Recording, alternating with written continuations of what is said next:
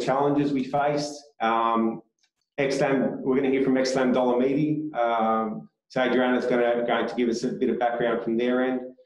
Um, and uh, Pete's going to talk about quality delivery, some safety items, um, fixing procurement, and um, some site coordination. Provide a bit more of a background in, in the local context of, uh, of Ballarat. All right, so um, background. So Kane Nicholson's, um, we're a joint venture. We're established to meet the needs of the uh, large regional innovative commercial projects. Um, Kane Nicholson's, I guess we, we teamed up because we're both very passionate about um, about regional Victoria in the first instance, uh, and secondly, we have really good, strong technical skills to deliver a project as complex as, as Ballarat GovHub. Um, so our, our skills really did complement each other, um, especially on this on this project. So a little bit about the GovHub, uh, designed by John Wardle Architects. Um, it's the first of what we hope are many GovHub commercial projects for regional Victoria. The next, of course, being Bendigo GovHub, which we're quite excited to see coming out shortly.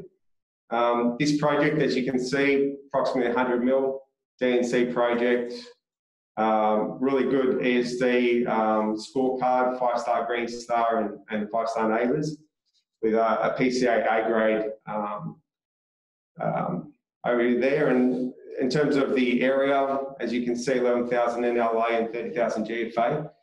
The, the build itself was two levels of concrete basement, uh, four levels of mass timber um, with a concrete core and uh, a concrete plant level um, at the top.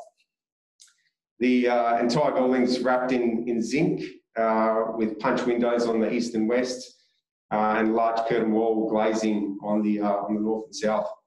Um, so this design um, had a high degree of exposed timber, has a high degree of exposed timber, um, and addresses the biophilic goal of, of government and the design team. Um, so it's a it's definitely one that you would want to work in, um, especially if you lived in Ballarat.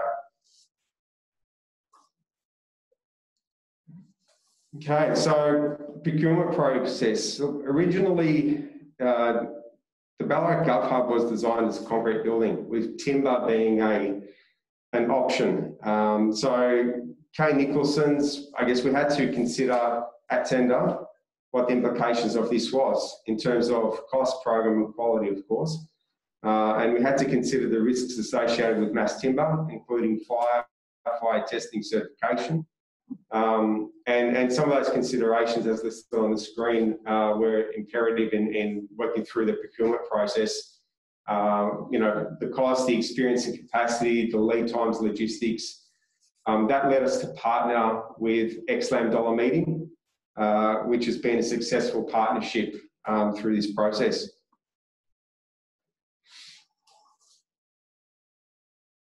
So as I mentioned, uh, there was a concrete scheme initially, um, and that was based around a 9 by 12 grid.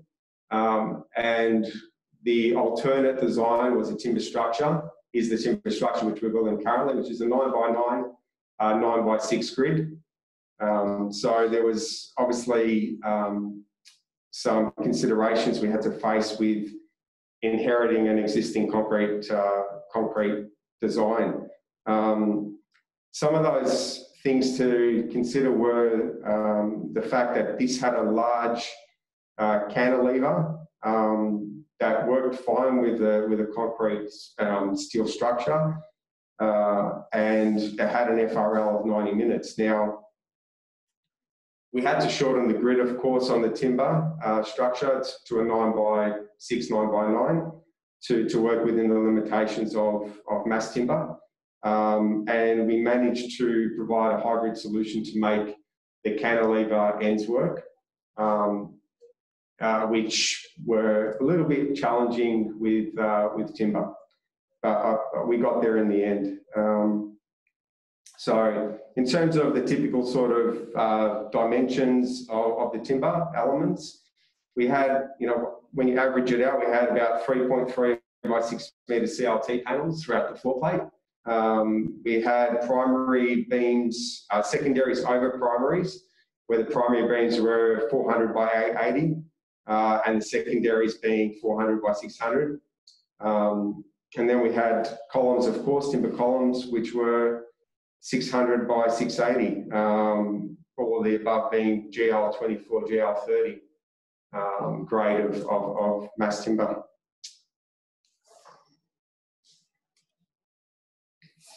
Uh, so the design process, um, look, this was uh, a really good experience. It, uh, it was a collaborative experience with Development Victoria, uh, John Wardle Architects, of course, AECOM, um, and then the entire design team. Uh, and, you know, we developed uh, the design to address the brief, um, the inherent limitations of the original concrete structure, of course, all while understanding the design intent and the extent of biophilia.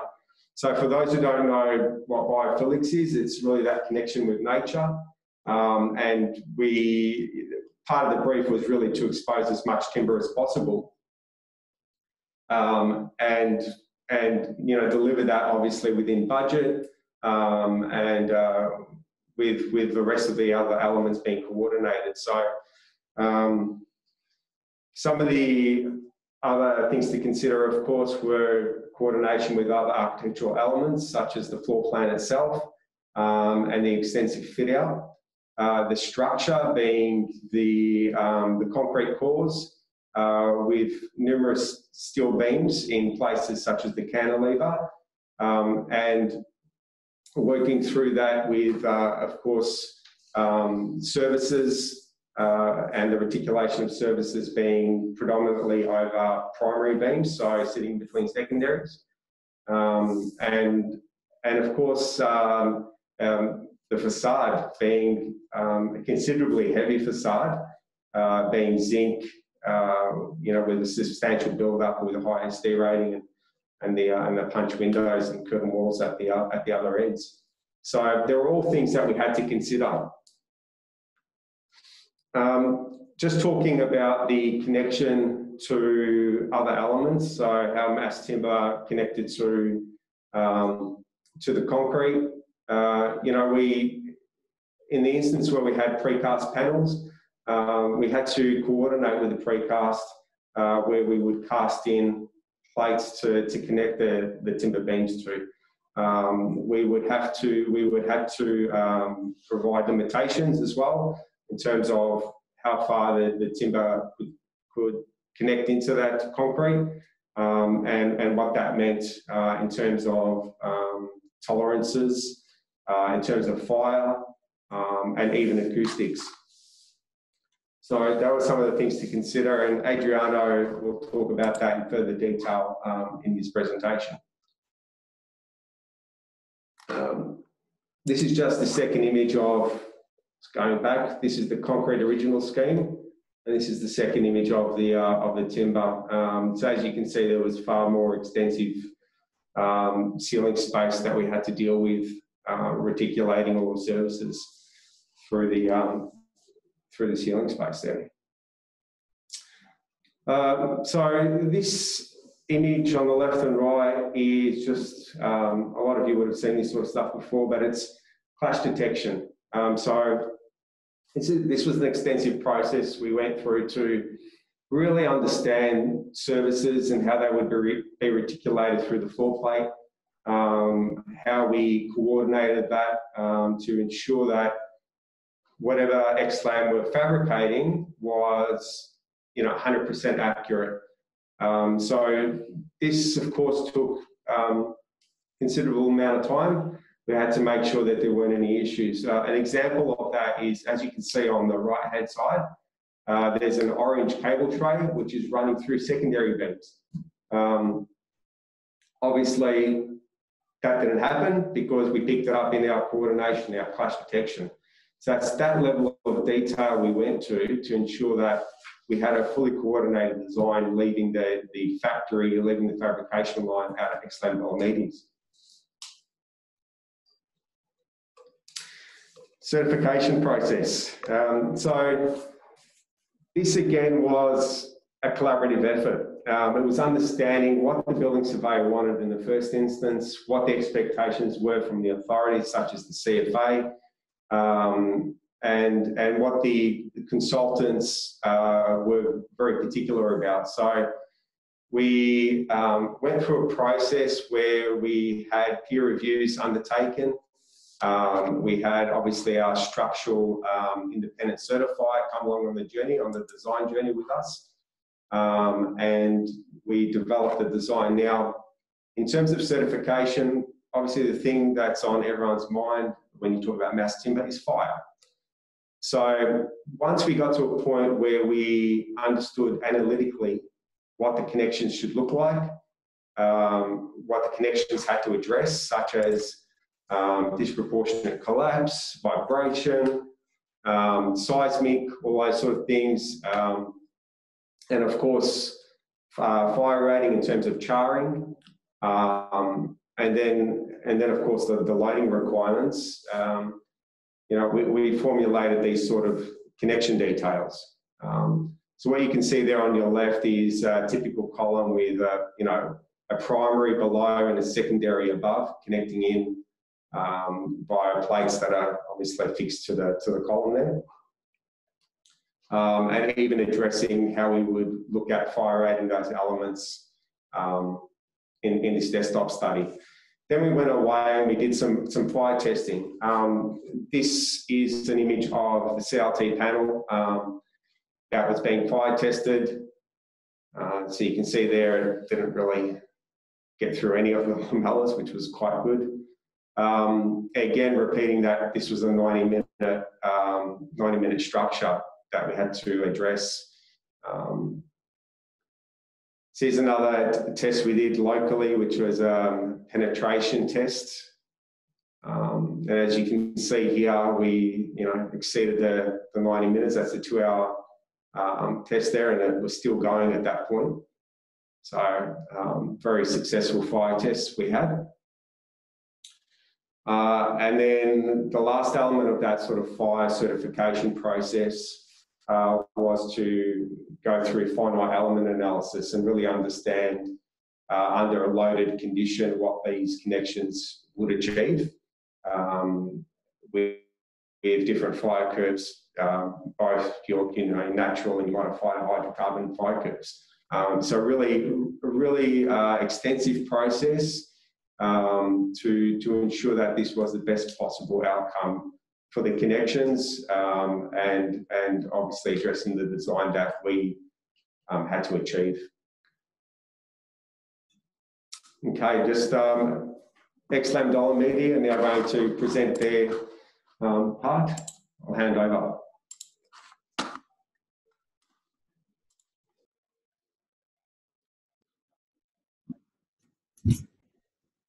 Good morning. I'm uh, Adriano Francescotti. I'm uh, very pleased to be here and I want to thank uh, Wood Solutions for inviting us. I will talk about the Ballarat Gov Hub and its design and construction process from a supplier point of view. I start uh, introducing my company.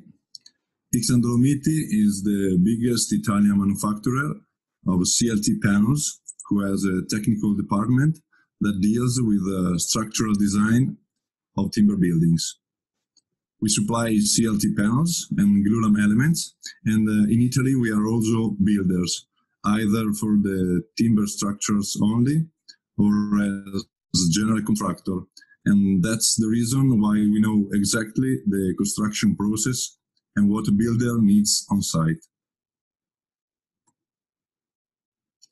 Since the end of 2017, we have entered uh, the Australian market, and uh, in our brief experience here, we have been involved in these four very exciting projects.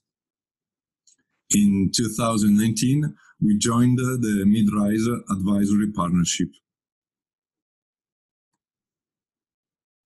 In Ballarat Gov Hub, as in the other projects, we dealt with supporting the structural design, making a 3D model with a CAD-CAM software, suggesting construction details, providing shop drawings, supplying CLT and glulam, and uh, follow the logistics aspects.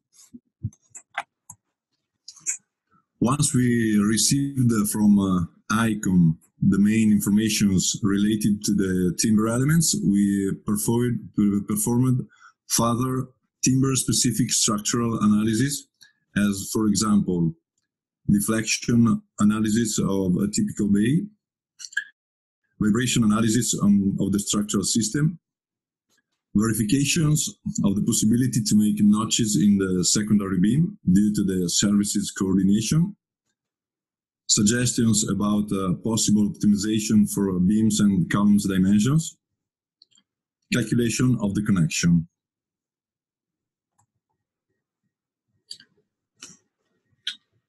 Starting from the architectural design and uh, going through the structural evaluations, we made the 3D constructive model with a CAD-CAM software that uh, allows us to manufacture and uh, process both the CLT and the uh, CLT panels and the glulam elements. In the image on, on the right, uh, there is a, a beam to column connection where you see the cuts for the steel plates and also the pre-drill necessary to insert the dowels. In order to process this model, all connections were analyzed in detail so that uh, they could satisfy the structural and fire resistance aspects, the stresses deriving from the progressive collapse requirements, the logistic aspects, and the assembly tolerances. For the fire resistance, that was largely discussed during the design and the peer review process, we went uh, through three different approaches. Analytical design for glulam elements and uh, CLT panels, fire tests uh, for panel-to-panel -panel connection, and uh, thermal finite element simulation for a typical connection. Starting from a standard concealed bracket detail, we designed the typical beam to column connection with uh, analytical evaluations according to Eurocode 5 and the most updated methods and regulations. Looking at uh, the detail, you can see caps uh, and timber plugs to protect the dowels, caulking strips around the bracket to fill the constructive gap uh, between beams and beam and column, besides the plasterboard and the timber filler that uh, protect the connection, the connection from below and from above. When the peer review fire engineers uh, required uh, um, tests uh, or thermal simulations, we called upon the ETH uh, in Zurich, which uh, has some of the top experts in the field of fire safety in timber buildings. With their collaboration, we developed and shared a specific 3D model of the connection that shows every single element to avoid uh, any possible misunderstanding of the detail. And uh, we provide also partial views, exploded views, assembled from above, from below, etc. Based on their expertise and the laboratory test data, the ETH engineers are able to predict the fire resistance of steel to timber doweled connection. And uh, after an accurate modeling phase, they did run the calculation to obtain the results. Just to understand the complexity of the model, consider that uh, their computer did uh, run the simulation for over 35 hours. Their model confirmed uh, the design assumptions so that uh, after uh, 90 minutes of fire, all the steel elements in the connections shown a temperature slightly higher than the ambient uh, temperature.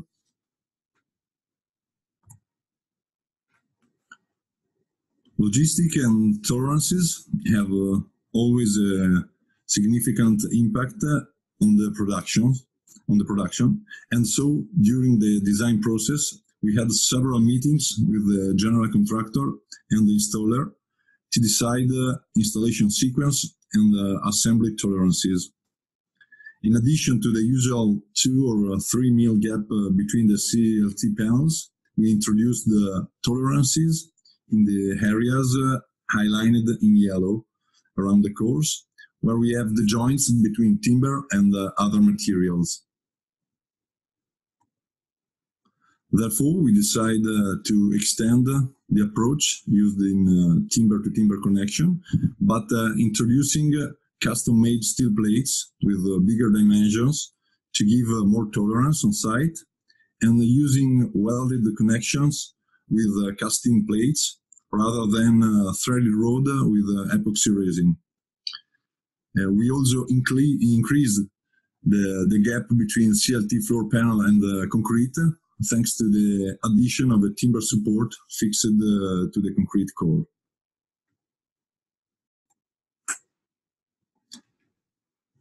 Logistic aspects are uh, strictly connected to the dimensions of the panels, and the goal is to maximize the CLT production dimensions while uh, we respect uh, the container limitations and try to reduce the crane lifts on site. The cost-effective solution depends on uh, several factors, but generally the bigger is the better.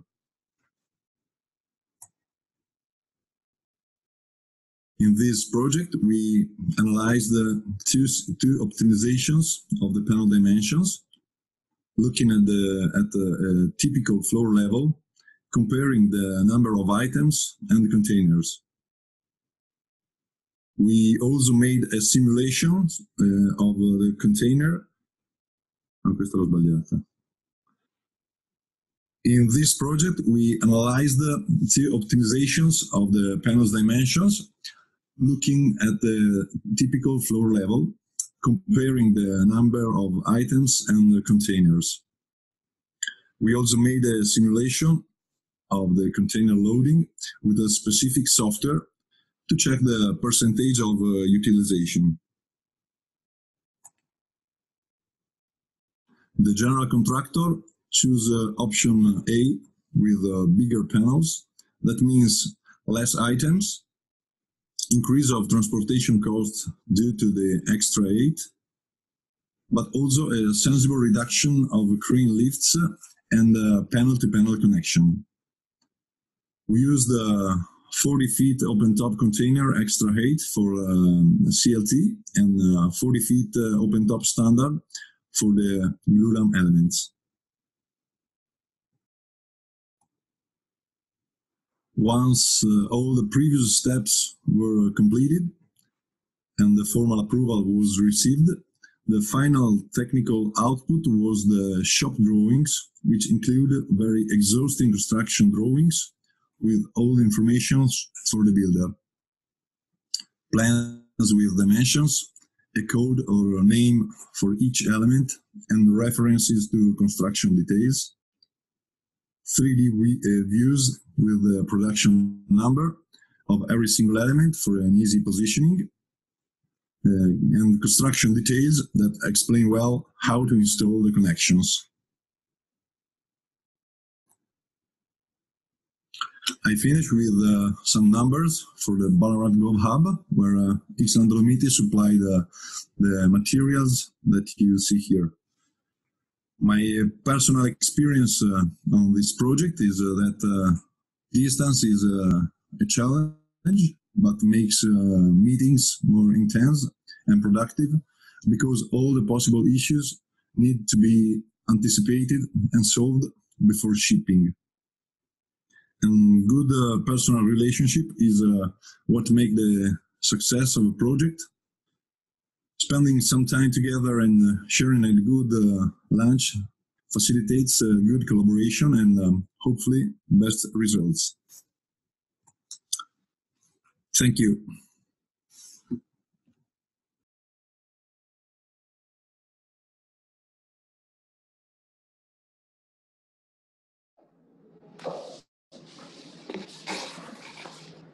Oh, yes, me. Yep.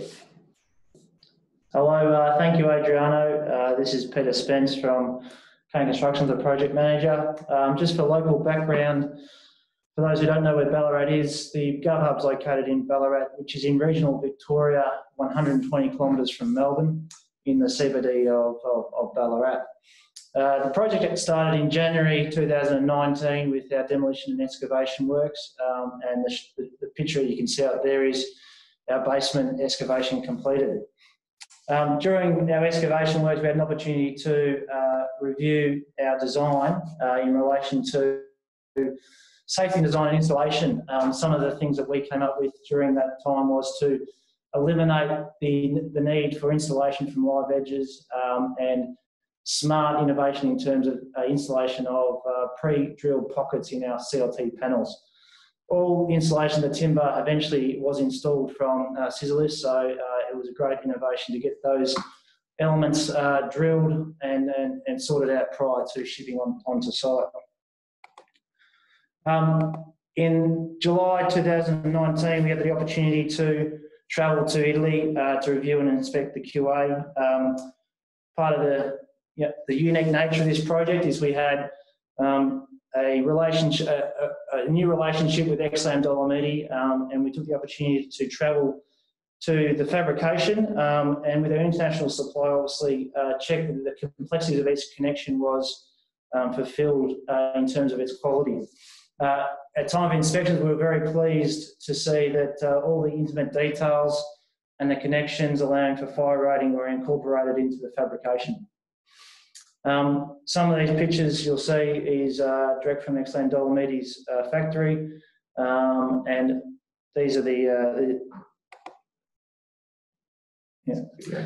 Um, part of the uh, international supplier uh, arrangement was to make sure that we uh, covered off all the Australian quarantine fumigation regulations working with the Department of Agriculture, we had to make sure our specific guidelines for timber and importation was communicated, and each of the requirements was uh, was met with our logistics partner. I'm going to play a short video, uh, and I will be pausing it throughout just to give a description of, of the site and the uh, installation process. Um,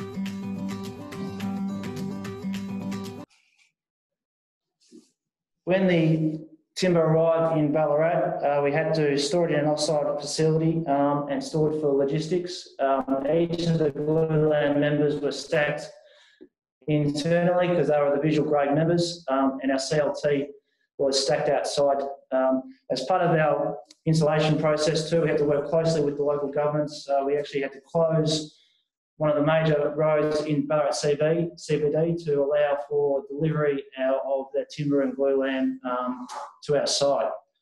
One of the uh, key intricate details of the installation of the glulam columns was the end-to-end bearing uh, that had strict tolerances of one to two mil, um, which required strict adherence to these tolerances to ensure the structure had adequate, um, adequate tolerances. The installation, uh, as you can see um, by the scissors, allowed for safety installation, um, which eliminated a lot of safety issues that you come with building a traditional construction site. The secondary beams um, and primary beams are connected with different elements to the columns, uh, face fixed and also seated connections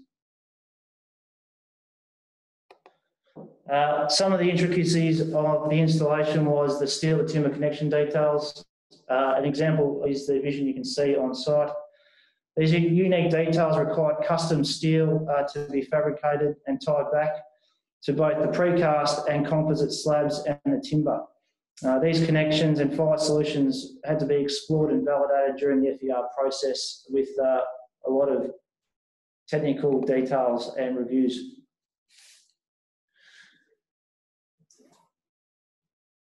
Part of the installation also too was to require the tie back to the precast panel, which Jack mentioned before, um, and tying back to the composite slab and the steel structure.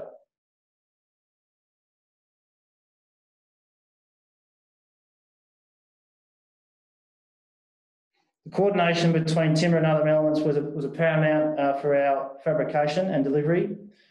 And we needed to pre-coordinate all trades with the timber, including steel facade and services. What we did is we achieved this by insisting uh, 3D design was done for all other trades and the clash detection done to individually optimise installation for those trades. Um, across the project, we had around 375,000 individual fixings on the project, including the nails, dowels, plugs, um, and we also had 1,346 individual timber elements installed on the site. Um, across the job, to allow delivery and optimisation, there was 400 truck movements, um, which uh, was a challenging process to ensure that we had the right delivery at the right time. As part of um, our installation too, on this image, you can see our facade uh, mega panels going in that need to be coordinated with our slab edge of our timber structure.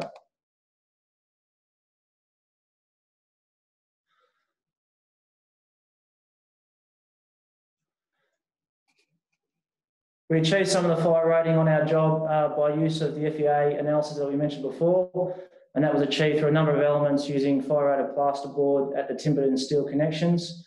We also used uh, vermiculite on our steel uh, and, and concrete connections as well. A lot of the coordination with the services uh, was paramount to get the right reticulation for the over and unders of the primary and secondary beams.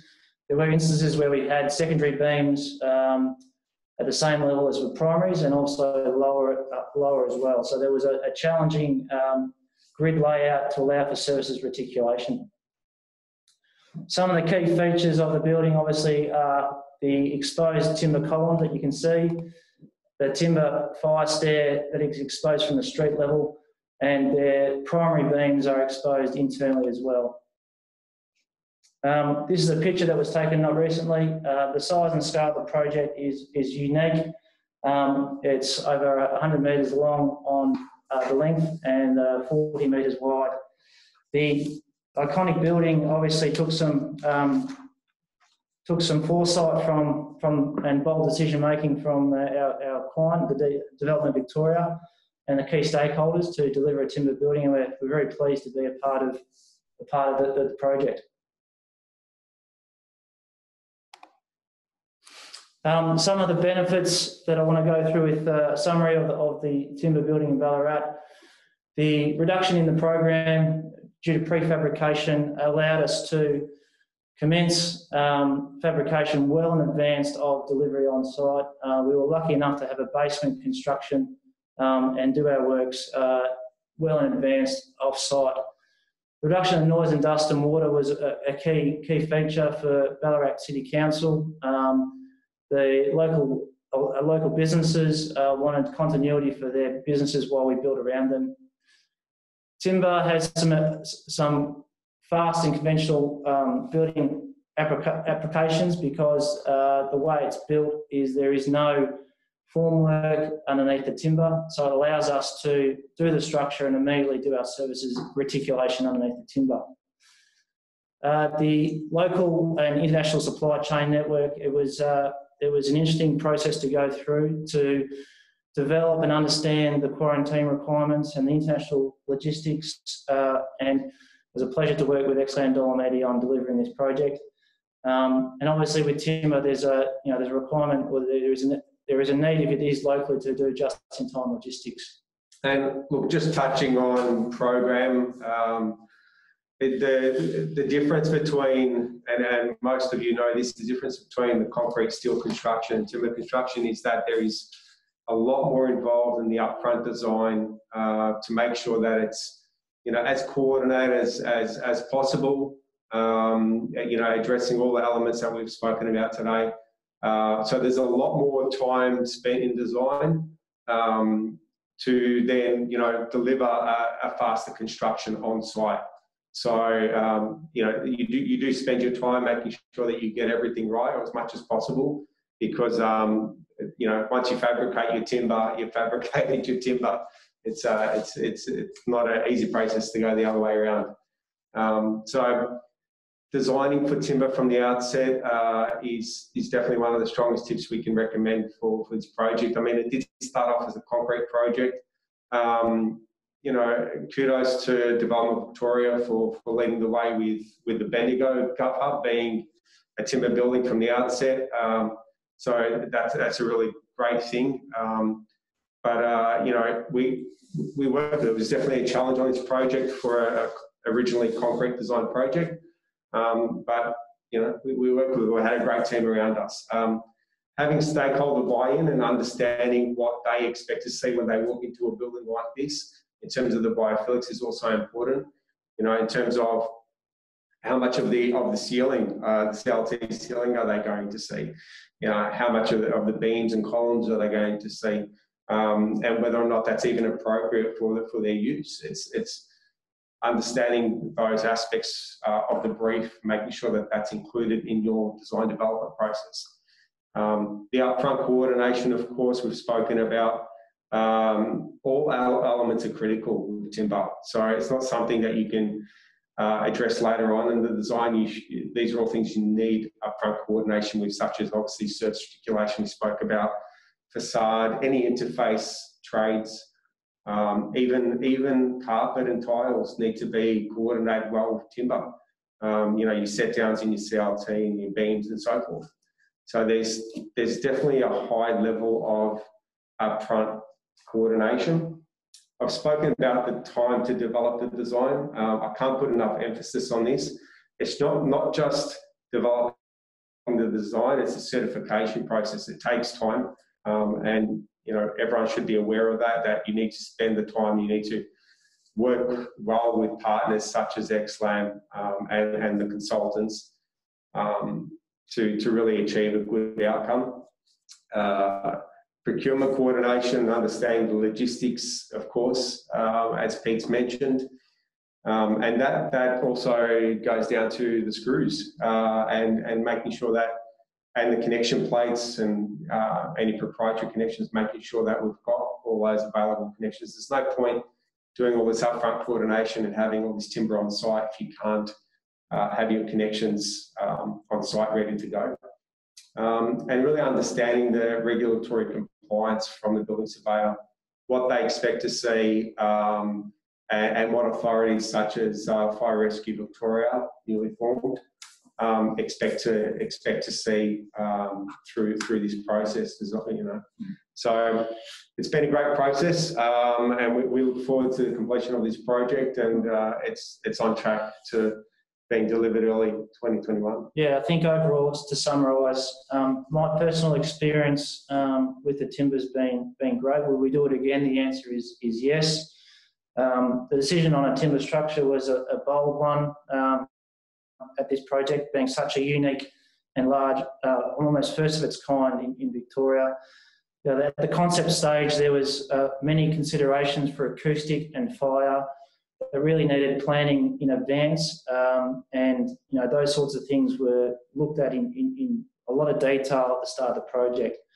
Um, obviously, the speed and delivery, um, there's definite, uh, um, you know, great things with timber that, that can help you with the mass structure that we've done, um, and we've found that you know it's all in the design and at the design stage and detailing to get your delivery right. Uh, you've got to do it early. Uh, you've got to make the decision, get get the detailing right, so we have all your connections and assembly uh, as smooth as possible. Um, and uh, we hope that you know there's future timber buildings like this, um, and we look forward to future opportunities to to deliver um, a timber building of, of this scale. Thanks for listening in. Over to you, Adam. Thank you, Jack and Peter. That was absolutely phenomenal. I'm sure everyone enjoyed that. If uh, due to the lack of the ability to hear everyone applauding, feel free to leave some comments in chat, everyone, if you uh, appreciate that presentation. We've also got Paolo Levici, who's the program manager at the Wood Solutions Mid-Rise Advisory Partnership, who's going to join us to uh, assist in panel questions. So, Jack and Peter, I might have you uh, open the Q and A function, and I might just kick it off with one quick question, which I'll answer as you're reading through. But There was an anonymous attendee who asked, What advice can you offer to aspiring apprentices about what trade skills are most relevant to biophilic construction in the future? And what companies are looking for or can offer apprenticeships in these innovative construction processes? So I uh, just like to plug the Box Hill Education uh, course. So they've got a diploma of project management for prefabricated building systems. So I might just leave that in the chat function, and anyone here who's looking to uh, learn to install these projects, I, I highly recommend it. And Jack, I might just throw to you, Jack and Peter. Uh, do you think this is a, a, a course that's in demand, and anyone who takes a course like this uh, will have skills that are going to be very valuable for their career going forward? Yeah, um, and I'll, I'll, just start off. Um, part of this project too, we actually had a, uh, a connection with Federation University in Ballarat, who um, had their tradespeople come through doing Cert uh, 5 timber works, that they come onto site and learn about the timber construction. A lot of those people and individuals were in residential timber construction. Um, obviously, the size and scale of timber on commercial projects is, is limited. Um, however, it's coming to prominence and will start to develop more as more projects get off the ground. So um, I guess we're, we're really happy to, to develop that partnership with the Federation Uni to give those people learnings about the timber and how it's all connected. Um, and uh, I would definitely encourage those uh, who want to explore that to, to get into the industry. Yeah. Appreciate that. Okay, I'll, there's one question. It's a bit of an elephant in the room asked by Colin McKenzie. It's the most upvoted. Did you find any gold when you dug the basement? well, let, let, me preface this by saying that the original site map showed a, um, uh, what do I call it? A, um, not a tunnel, a mine shaft, sorry, a mine shaft. There was a mine shaft apparently supposed to be there, but um, I don't think we found any gold, or at least Peter's not telling me. Maybe we did. No, we didn't find any gold, Adam. Um, unfortunately, Jack's right. There was an old mine shaft that was closed off, but uh, that was backfilled, unfortunately. We were lucky to find uh, some some crushed bottles. Um, they were actually dumped there many many years ago. Uh, there was about 1,500 bottles. Unfortunately, they were no of no great significance of the local local area. Um, so unfortunately, no, no, no great surprises. And, and no wine in the bottles. No. yeah, I think Peter wouldn't be in here in uh, COVID Melbourne if he found all that that gold. He would have found a different place to be. Yeah. Got a question here from Stuart Norton and uh, Jack and Peter. You might speak to how it went on the project, and Paolo, you might want to speak more generally to it. Uh, how do you manage water damage to the CLT during the construction process? Well, so the during the construction process, um, the CLT is taped up between joints. Um, we obviously dry up the CLT as quick as possible after a rain event. Um, so we, we manage the moisture that way. We're also continually monitoring the moisture content in the CLT and, and the glulam, of course. Um, so we need to make sure that all the parameters are still within within uh, reason. Yeah, we're finding that on Ballarat um, after rain events, uh, our moisture content of our timber it goes anywhere from 10% up to maybe 18%. Um, and after those rain events, if we get wind or sun, it does dry reasonably quickly. So, um, now we're lucky on Ballarat, we're on the top of the hill, and we do get a bit of wind. Um, and generally, after a rain event, after three or four days, we find the moisture contents back down to that 10 or 8%. So, um, the, uh, the way that the timber is constructed allows you know, water to be easily dewatered from, from the, uh, the panels itself. Um, at the end of construction or once we're into fit out stage, each of the visual beams will actually be sanded back um, to its original um, fabricated uh, member um, to allow the blonde timber to come out, and that will be sealed, resealed uh, with our finishes trade. So you actually all that damage, all that water damage that happens to the columns and other members uh, will not be seen and be sanded back at the end of the job or during during fit out. But just to add to that, there isn't really any water damage because they're protected to begin with. So uh, yeah. you are protecting them on site. Yeah.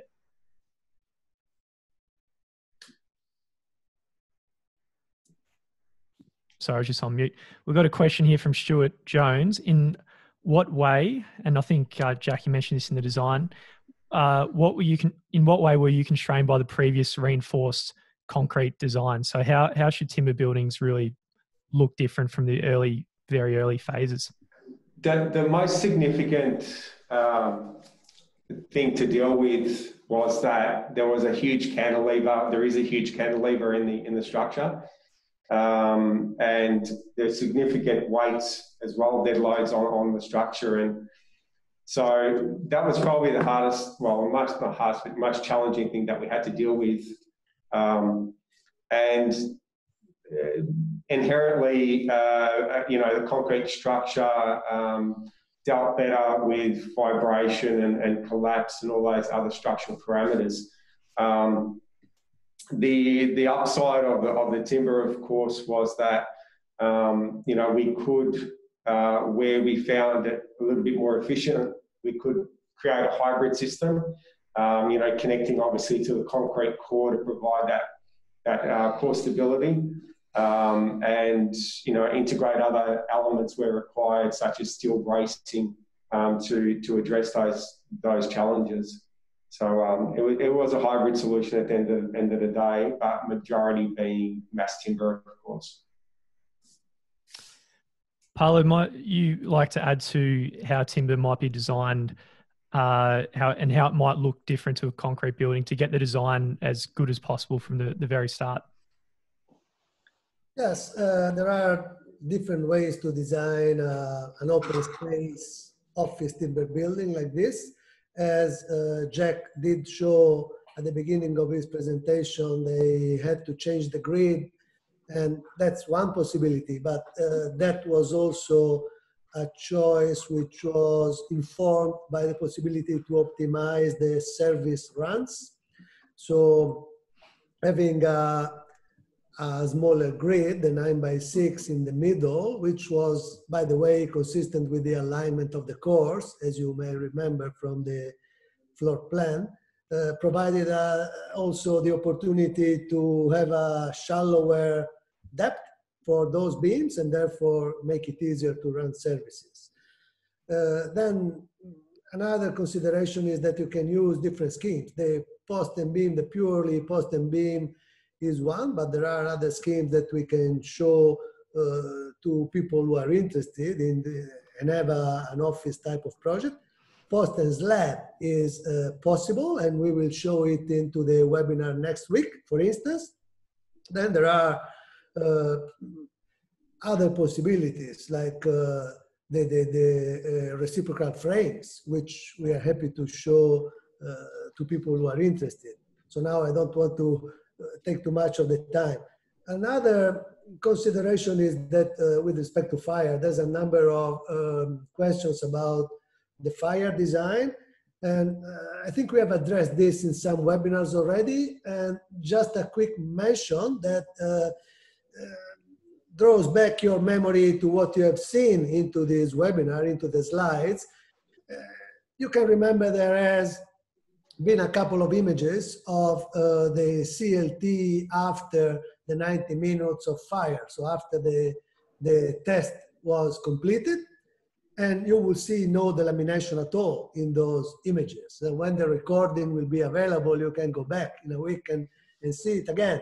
But there was no delamination on those uh, products, although the type of glue which is used is not the heat resistant one. So it's not necessarily correlated to the use of this or that brand or type of glue.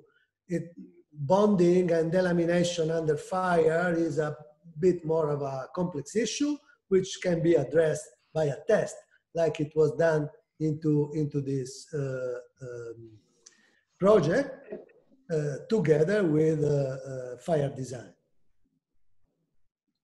Absolutely. We've got the, a question here from another anonymous ten, attendee, and you probably expect this one was coming, Jack and Peter. How did the cost of the timber structure compare with the concrete option? Well, to start with, we had to get to a point where it was feasible for the timber option to get up. So, um, you know, working obviously, Kane Nicholson's working closely with the, with the uh, potential supply chain you know, arrived at a number after, you know, a lot of consideration in terms of what, what could we do to try and make the design work uh, within the budget.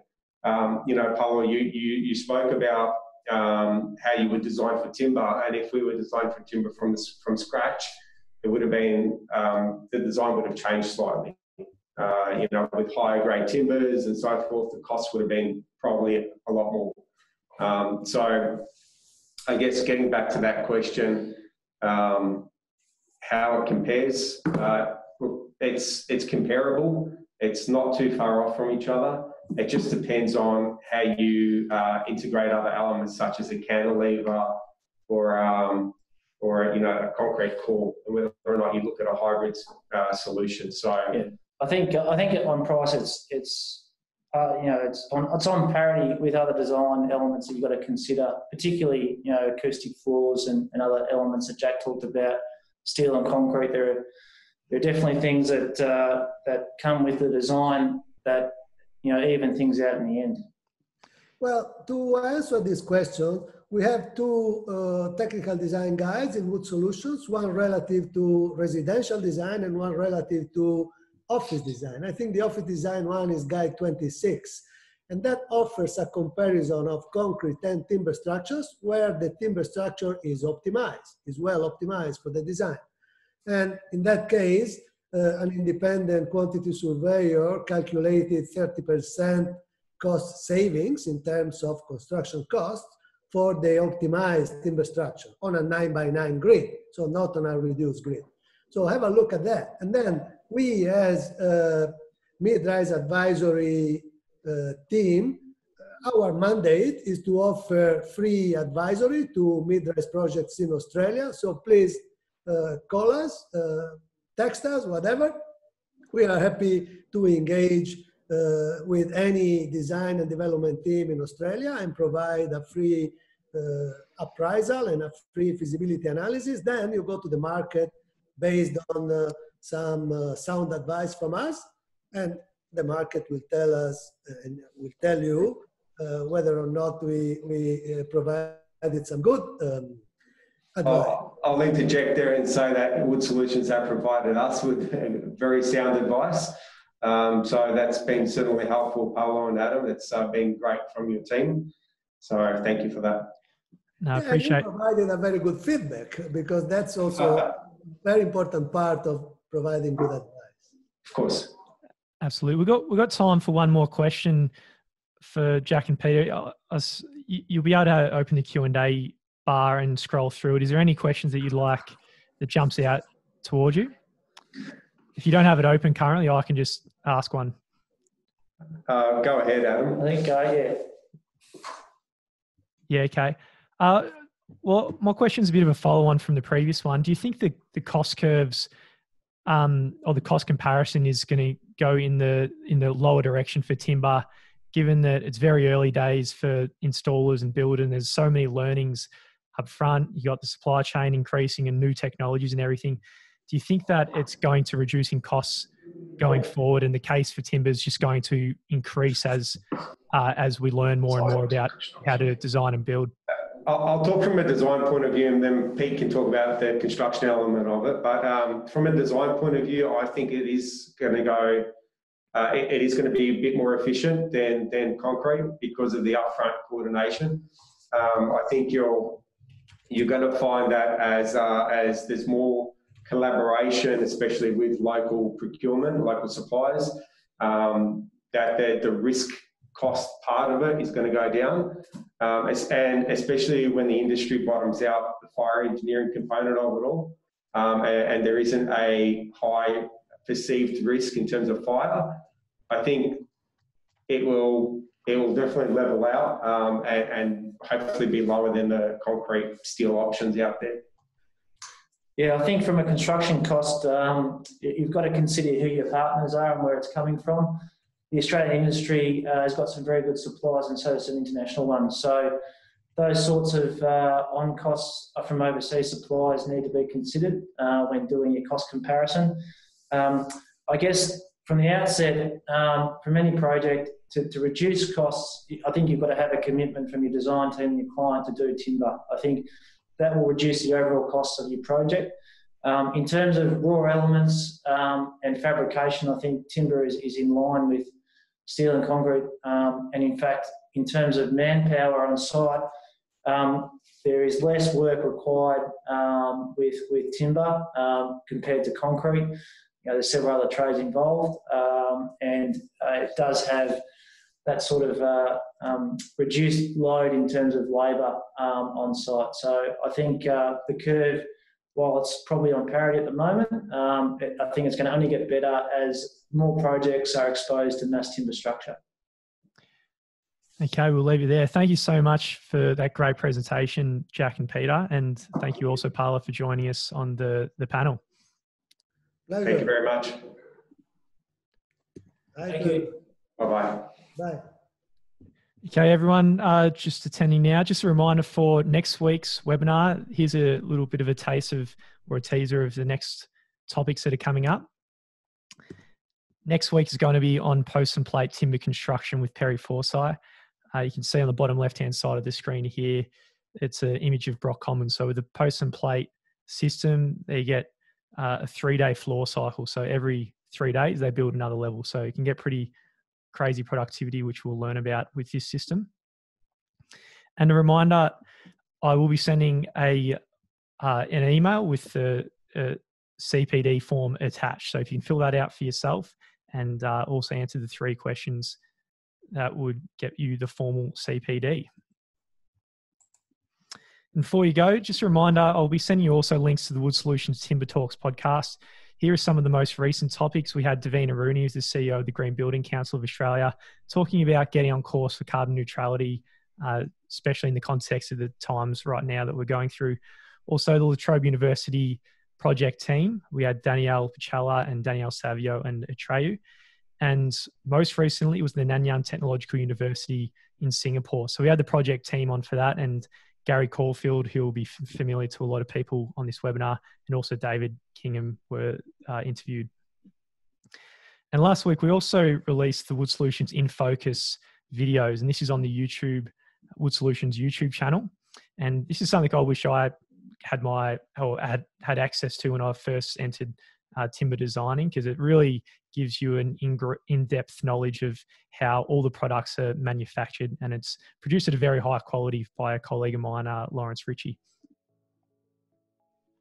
So again, next week's webinar, please join us at 11 a.m. for the post and plate timber construction. And thank you very much for in uh, for attending this morning. I see Peter Collins. He's uh, mentioned about the in focus videos. They are amazing, and yeah, totally agree with that. But I'll see you next week and have a great rest of your day.